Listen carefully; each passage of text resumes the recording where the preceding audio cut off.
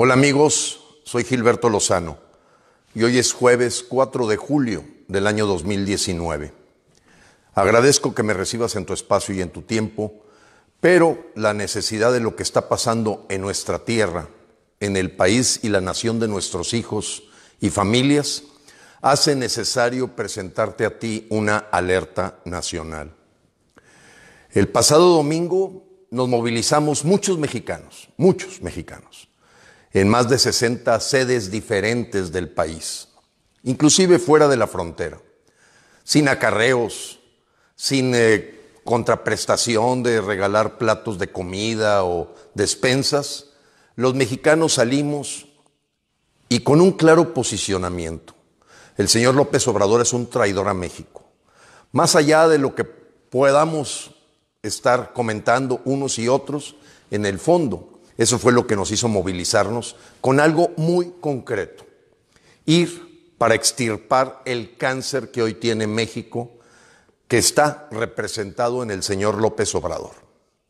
Así de claro, las etapas que hemos seguido de primeramente presentar legalmente y jurídicamente una denuncia de juicio político por traición a la patria del pasado mayo 13, se sumó el envío de miles y miles de correos electrónicos de muchos mexicanos para presionar socialmente como mandantes constitucionales a los 500 diputados y 128 senadores.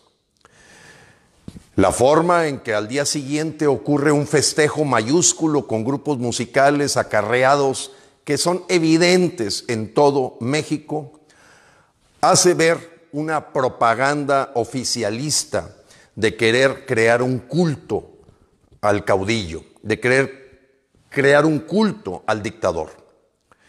Tú sabes que la celebración del pasado lunes es equivalente a la que hacía Hugo Chávez a su llegada al poder cada aniversario. La misma que hacía Fidel Castro, Joseph Stalin, Mao Zedong, que consideran que ese cambio de régimen es propio de una persona elegida por los dioses y considerarse un tlatoani o héroe nacional.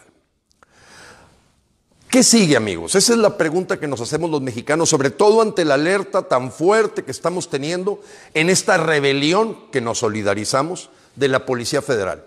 Y es que los mexicanos no podemos imaginar a los policías federales que por todos los errores que puedan tener del pasado, pues sabemos que constituyen una policía formada a lo largo de muchos años con gente que es leal. ¿Leal a quién? Al pueblo de México. No los imaginamos vestidos de guardias, de militares, con el escudo de Morena a un lado. No lo imaginamos así y entendemos la lucha que ellos están ahorita frontalmente haciendo contra esta imposición de convertirlos en parte de la Guardia Bolivariana. Te agrego algo que es sumamente delicado y que por ello califico de alerta nacional, el video que te pido trates de difundir. O con tus palabras. Edita la parte que no es importante, pero el haber escuchado al señor López Obrador decir que por él desaparecería el ejército y la marina, la Armada de México, de veras estamos cayendo en un punto ya de locura, de locura política. Tú lo sabes, amigo, todas las instituciones de prestigio que han hecho estudios de confiabilidad de las instituciones de México siempre han puesto, a pesar de sus errores, a pesar de posibles fisuras de corrupción, al Ejército Nacional en primer lugar en confiabilidad institucional mientras a los partidos políticos siempre han estado en el último lugar. ¿Cómo se atreve una persona emanada de un partido, producto de tres presencias en el PRI, en el PRD y ahora con su propio negocio, decirnos que él sueña con desaparecer al ejército y a la Armada Mexicana?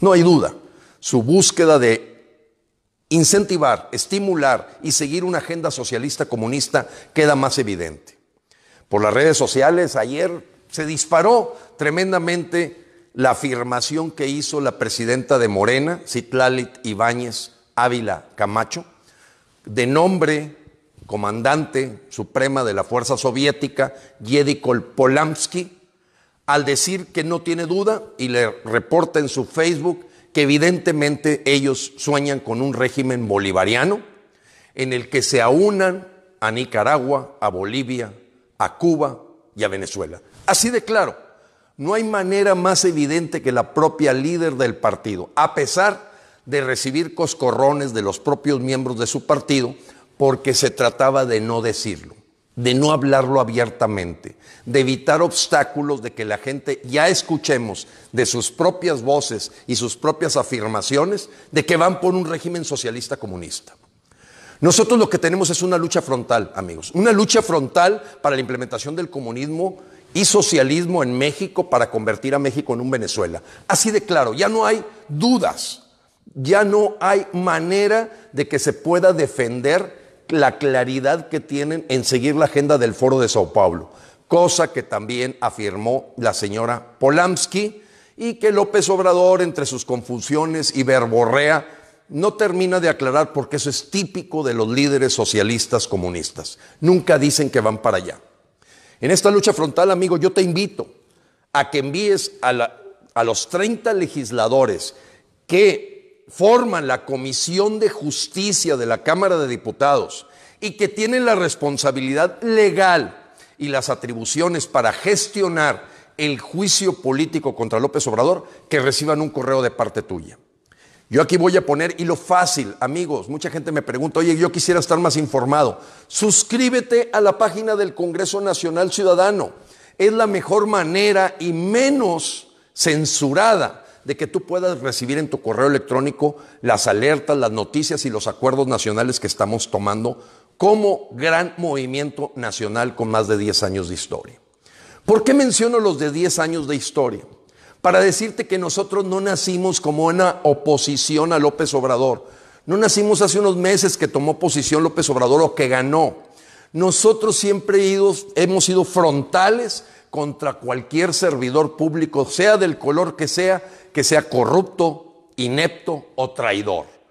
Así es que tenemos una historia que valida y nos da la calidad moral y agradezco a miles y miles y miles de mexicanos que se han venido a sumarse a las filas del Congreso Nacional Ciudadano, que no es una lucha efímera ni electorera. Nosotros no defendemos a Fox como lo hacen otros colectivos, nosotros lo corrimos y eso hace que se les retuerzan las tripas a algunos colectivos que estuvieron junto con nosotros aprovechando la marcha y la movilización convocada por el Congreso Nacional Ciudadano. Cuando alguien requiere explicar demasiado que yo convoqué y nosotros fuimos los que convocamos, quiere decir que la realidad es otra cosa. Porque nosotros no necesitamos andar colgándonos medallas que no nos corresponden, ni intentamos venderte una mentira. Los mexicanos salieron a las calles, salieron por la convocatoria de muchos otros mexicanos, y eso dejó muy claro y concreto la acción. No, respetamos mucho las marchas, pero no es lo único que tenemos que hacer. Recuerda que las marchas son una de 278 herramientas ciudadanas que el Congreso en sus células ciudadanas en todo el país utiliza en su metro cuadrado. Son muchas. Nosotros vamos más allá. Pero tenemos que ser claros, amigos. Hoy nos asusta lo que está pasando con esta rebelión, rebelión de la Policía Federal. O la insatisfacción tan grande de los militares con estas frases de su supuesto comandante supremo al decir que él desaparecería al ejército, que él cree más en la Guardia Nacional o Guardia Bolivariana. Mis amigos generales, mis amigos coroneles, tenientes, a todo el ejército mexicano les hago un llamado, resistan. A los comandantes de la Policía Federal, resistan.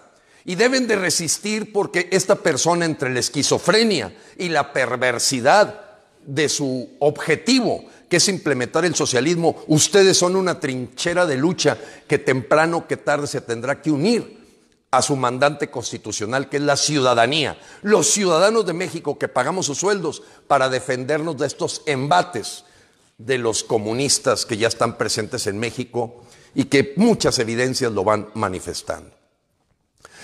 Amigos, cuando un colectivo intenta denostar a otro con mentiras, con calumnias, que si tenemos relación con esto, con otro, basta que vean nuestra historia. Son incapaces de mostrar una sola prueba. El Congreso Nacional Ciudadano se ha ganado su reputación y su credibilidad porque no aceptamos políticos. Los corremos de nuestras marchas, como fue el caso de Fox, y ahí está la evidencia.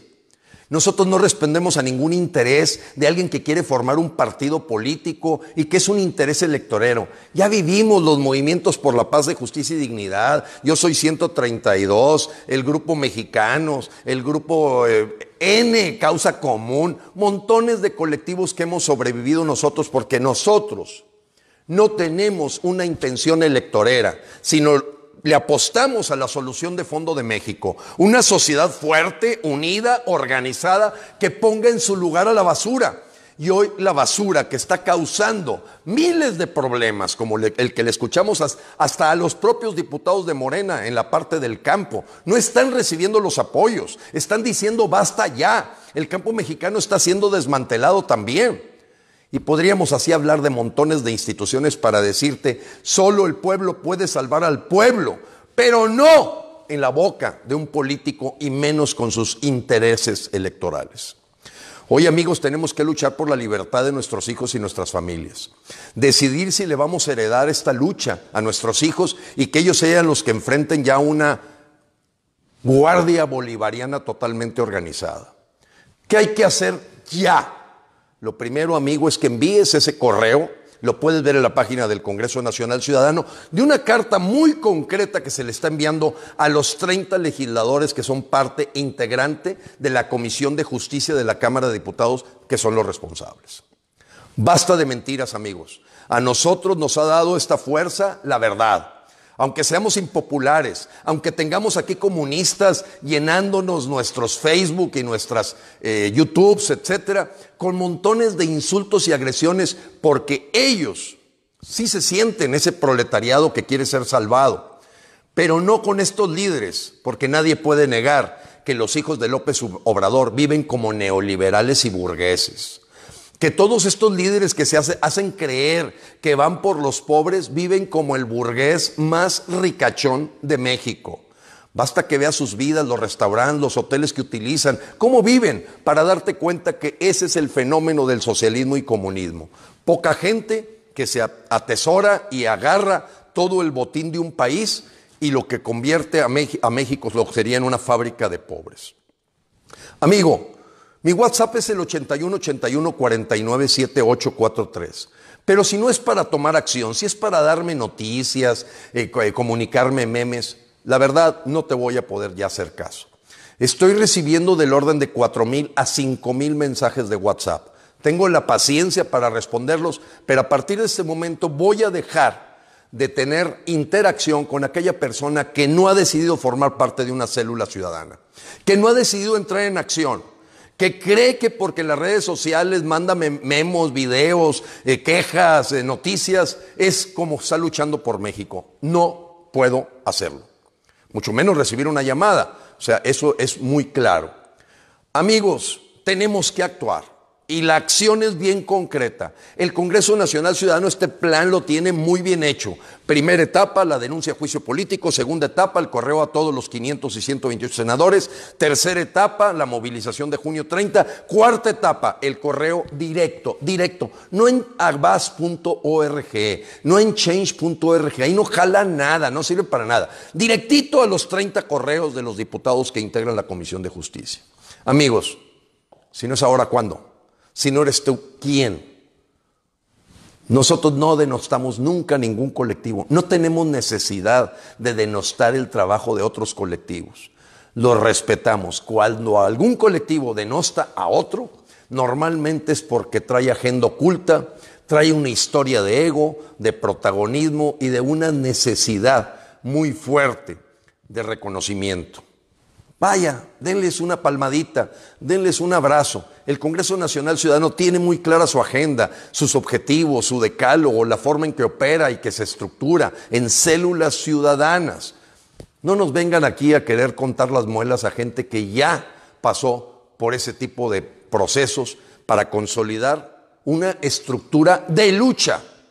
Porque te lo tengo que decir, amigo, aunque somos una lucha pacífica, estamos en guerra. México está en guerra contra el comunismo y el socialismo. México y los mexicanos tenemos que tener claro que hay un grupo comunista con una claridad de agenda que nos va a avasallar, nos va a pisotear, nos va a sobrepasar si no nos organizamos. No te quedes con la marcha, amigo. Vamos más allá. El Congreso Nacional Ciudadano es un proceso permanente de actuación como mandante constitucional. Nosotros no somos oposición, ni lo queremos ser. Estamos por encima. El poder dimana del pueblo se origina esencialmente para el servicio del pueblo y el pueblo tiene en todo momento el derecho inalienable de cambiar el sistema de gobierno si no funciona. Este nos está llevando a una debacle económica, este nos está llevando a una posible guerra civil, este nos está llevando a una lucha de clases, este nos está llevando a una fábrica de pobres, este nos está llevando a una dictadura monárquica en donde todo depende de una sola persona que tenemos que extirpar el cáncer de México, que produce todos los síntomas que estamos viendo, se llama López Obrador y ese es el objetivo. Ese es el objetivo. Primero jurídicamente, que sea juzgado políticamente y de no ser así tendremos de alguna forma que sacarlo, como dicen, perro que trae hueso en el hocico, no lo suelta más que a patadas o con la unión del pueblo. Dedícate a expander las células, dedícate a invitar a más mexicanos. Invítalos. No solamente te quedes en la concientización, llegó el momento de la acción. Y esta acción es clara y concreta. Envía el correo a esas 30 integrantes. En la página del Congreso Nacional Ciudadano te va a tomar cinco minutos. Copy-paste de la carta y copy-paste de los destinatarios y asunto arreglado y vamos a lo que sigue.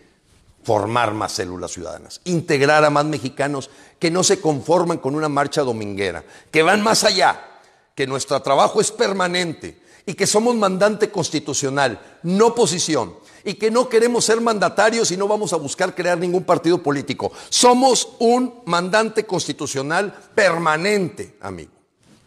Dios te bendiga, Dios me bendiga y Dios bendiga a México.